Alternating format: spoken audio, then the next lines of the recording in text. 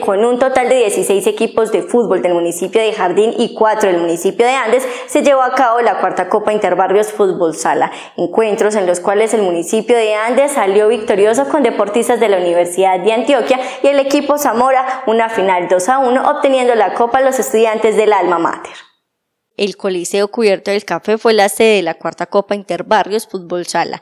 En este participaron un total de 20 equipos, de ellos 16 del área urbana y rural de Jardín y cuatro invitados del municipio de Andes. El triunfo final lo obtuvo el municipio de Andes con los equipos Zamora y Universidad de Antioquia, un partido 2 a 1, victoria para el alma mater. Un torneo muy disputado, muy buen nivel que hay en Jardín, eh, el otro equipo de la final también de Andes con varios jugadores de selección, muy buen partido, eh, semanalmente en la universidad nosotros trabajamos para jugar el fútbol sala y también convivimos con vida de estudiante, lo cual se nos lleva mucho tiempo. Eh, muy contentos por salir campeones y seguramente seguiremos por acá en próximas ediciones de los torneos.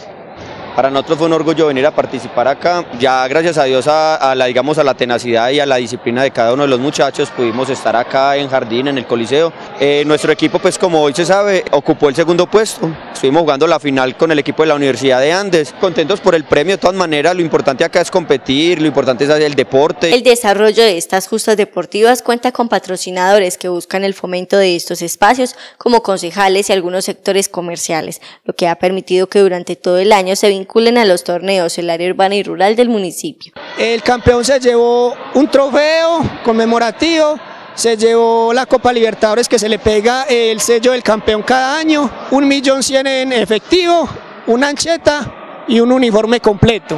El subcampeón se llevó 600 mil en efectivo y una ancheta.